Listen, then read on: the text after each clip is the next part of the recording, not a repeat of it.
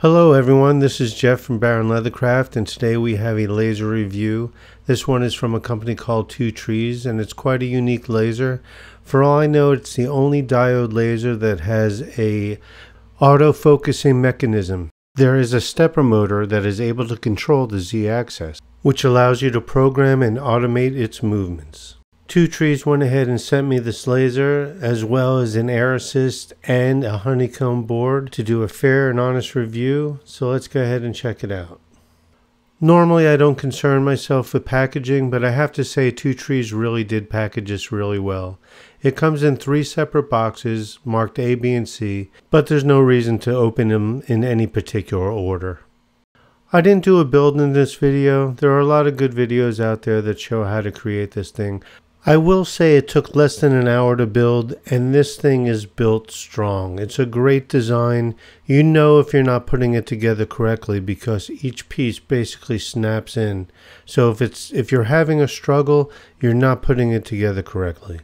So instead of doing a build, I wanted to dedicate the time to the auto-focusing mechanism and power and speed settings for this device. Let's go through some of its specs first though. The laser module is 20 watts and it has a 0.08 millimeter spot lens capability. As you see, it has an emergency stop button and an LED fire alarm, and of course the alarm goes off when tilted. This is the side panel where you will be plugging in your USB cable and your power cable, and there's also a space for a SD card. The gantry runs on a quality single motor. On the other side of the gantry is a belt tightening knob and here's a view of the entire gantry. This 20 watt laser module comes with built-in air assist. You just need to get a pump. All the cabling comes pre-tucked into cabling vertebrae, which is nice, and they're easy to install. Here's the cabling vertebrae along the gantry, and here's the manual focus knob for when you need to use it. The laser does have stop sensors to keep it from running off the rails. The engraving size is 410 millimeters by 410 millimeters. I was very impressed with the Two Trees Air Assist pump. It comes in this nice case first of all, and it comes with everything you need to hook up your Air Assist pump to other modules from different companies. But the module that the TS2 laser 20 watt laser comes with already has Air Assist ready. You're just basically putting the tube into the pump. The pump is constructed really well. It's got some great weight to it and it's really quiet. It's the most quiet of the pumps that I've received from any company so far. It's fully adjustable and it goes from 10 to 30 liters a minute. The power cable is fine, it's functional, but the actual pump I thought was really well made. It has very soft feet and it seems to prevent it from vibrating quite a bit. Two Trees also sent a 14 by 14 honeycomb cutting board. It is made of aluminum. These are some feet that come along with it. I haven't found the need to put them on at this point. Like I said, it's aluminum, so magnets have no effect on them.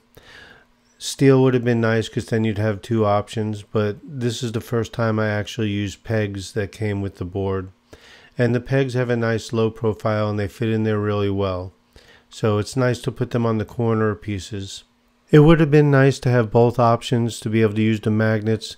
Magnets are good because you can actually place them on top of certain material to hold them down.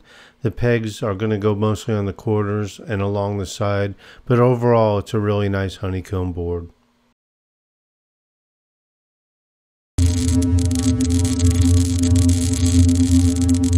Now one of the coolest aspects of this machine is that it can autofocus on the Z-axis. This is the first diode laser that I'm familiar with that has that ability. So let me give you an example. When you install the software, it comes with five setup macros. Macros are basically commands to tell the machine what to do and you can set up your own macros but it comes with six particularly the engrave which sets the focus for a perfect engrave. Plus it also has macros for cutting material and it shows the different thickness of the material. So let me go ahead and hover the laser over some of the material. There you go. Now if I hit the engrave button, it'll autofocus the machine to be able to engrave at what it thinks is the optimum. There you go. If you noticed, the laser uh, moved up and down. Now I'm going to hit the cut 3 millimeters button and this will set the optimum level to cut material that's 3 millimeters.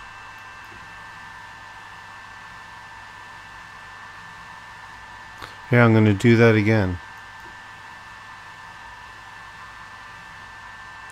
There you go. And I'm going to hit engrave again. Just to give you an example. After you use any of the autofocus macros, it's important to home the machine after that because the machine thinks it's home already. So if you went to go do a project, it's going to search in the wrong direction. So make sure you home the machine first. There you go, now the machine is homed. So that's how you set the autofocus with the macros that are built in. Of course, when you're dealing with a project, you're going to have many layers. Some of them are going to be engraved layers, and some of them can be line layers, and some could be cut layers. So I have very little experience with Z-axis. This is the first diode laser that I know of that has autofocus on the Z-axis. So I went ahead and reached out to Dave from the Clack Shack I want to make sure you're, you're familiar with his YouTube channel. So it's C L A C K S H A C K. He was very happy to give me information that I needed to be able to finish this review. I've watched his review on this machine. It was excellent, and I knew he knew how to use it. So I asked him, How am I able to set up the machine to be able to refocus during a project's uh, burning? and he told me that you have to go ahead and go to each layer and you'll see let me click on this uh, black one for example and set the Z offset. Now I have mine in inches right now so it's 0.0591 which comes out to about 1.5 millimeters. This layer is set to cut 3 millimeter material and the optimum focus is halfway between that material which is 1.5 millimeters or in inches 0.0591 so that's how you set it to change its focus in the middle of doing a job the red layer here which is this circle right here I have set exaggerated to actually raise up the laser 10 millimeters that way we could see it you know, for this demonstration. That way it'll be clear to see how the laser is changing focus. So that's set to 0.3937 inches, which is 10 millimeters. The blue layer is set for engraving. It'll run this pretty quickly because this is just a demonstration. I didn't want to actually burn anything or cut anything here because I wanted it to be moving quickly so you can get an idea of how it does everything. So now I'm going to go ahead and hit start.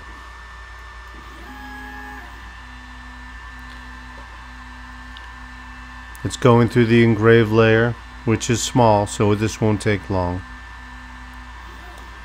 There, if you see it adjusted to the proper height for cutting 3 millimeter. It's going to do two passes because I wanted everyone to be able to see it. Now after this third pass, it should go ahead and refocus by raising itself. There it goes. See, it's raising itself 10 millimeters. And it's doing the final cut. When it's all done, it'll home itself and actually go back. Now it's going down. It homed itself back to zero. And that's basically it. It's very simple to do. Once again, I want to thank Dave from the Clack Shack. He was kind enough to give me a hand, so go ahead and check out his YouTube channel, The Clack Shack. Now let's get into burning some material. It's very easy to frame material with this laser. This is a wood coaster, and if you notice the laser dot that's traveling around the coaster, as you see what I'm doing is actually lining up the laser with the coaster edges. I already have it locked in. If you could see, there's the beam right there. It's really simple. The glass is easy to see through. And once you get it zoned in, you're ready to go, ready to get to work. I started off testing the machine with wood, and this is 3 millimeters thick, and the engraved speed was 6,000 millimeters a minute at 70% power, and the cut was 300 millimeters a minute at 90% power. This machine can go faster, of course, but I wanted to get a deep burn and get an understanding of how it works. This is at 6,000 once again and 70% power. I used full air assist. Now with this one, this is the dragon and tiger design, yin and yang. I do this design on most of my reviews so you can get an idea of the difference between them. But this one I went ahead and sped it up to 7,000 millimeters a minute at 60% power. I would be happy to use these power settings on this particular type of wood again. I think that this came out nice. This is a keychain that Two Trees sent to me. I'm not sure what kind of wood it is, but at 7,000 millimeters a minute and 70% power, it came out nice. I was happy with these power and speed settings. And in such a small design, it really was able to hold the detail. You could see each little line was drawn really well. Now we're going to cut some 15 millimeter wood. I'm not sure what kind of wood it is, but it's not a hardwood. It was pretty light. I went ahead and did four passes and it cut it, cut it out effortlessly at 200 millimeters a minute and 90% power. I personally don't like to run my laser at 100%, but I'm sure it would have been much faster. With this piece of wood, I went ahead and used 7,000 millimeters a minute and 70% power again. I seem to like that setting for wood with this device. The power setting might be high for some people, but I personally like my engraving to be pretty deep.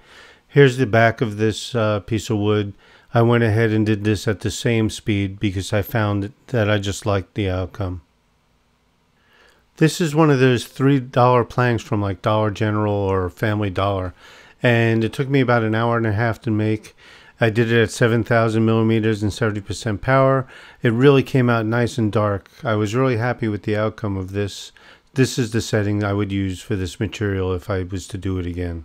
All right, now we're moved on to leather. This is 8 ounce veg tan leather, and I engraved it at 8,000 millimeters a minute and 40% power.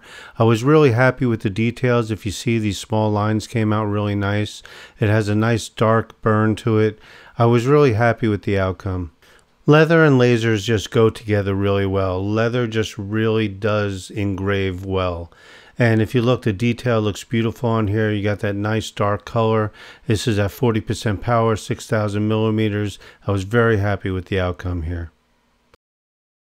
Okay, it's time to cut some really thick leather. This is 10 ounce leather. This is about as thick as I personally will use. Leather comes heavier, obviously, people that make saddles and stuff, but it cut really well in one pass, 300 millimeters a minute at 80% power and I did the engraving on this at 7,000 millimeters a minute and 50% power. This is my first 20 watt laser machine and you definitely are able to speed it up and you're able to use the lower power setting which is really nice. You're always going to choose quality burn and cutting over speed, but you are able to definitely speed it up and use a lower power. Slate is also a lot of fun to do, and I was able to use a faster speed and a lower power than normal on this. I went ahead and used 8000 millimeters a minute and 60% power. On my 10 watt laser, I would use 5000 millimeters a minute, so I definitely am able to do this job a lot quicker than I used to be. This is an Escher design that I quickly just threw up on my Lightburn. I did this a little bit uh, less power at 50% instead of 60%. I was still happy with the outcome. I didn't take a lot of time tweaking this image for engraving. There's definitely an art to tweaking an image in order to have it engraved, and I just need to spend a little more time with this design.